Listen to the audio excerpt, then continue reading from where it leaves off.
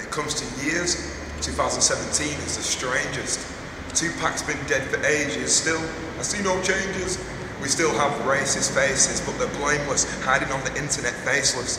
All these kids are trying to be Facebook famous, meanwhile the UK is like a scene from Shameless. All governments are a bunch of cunts. Theresa May is just as fucked up as Donald Trump. We're all creatures on a planet. We're all earthlings. I find it hard to smile when somebody else is hurting. So if you're gay, straight, black, white, Christian or Muslim, just know I've got your back if you're suffering. It's just a Tory regime, mainstream media's wet dream to separate us, but we're all the same team.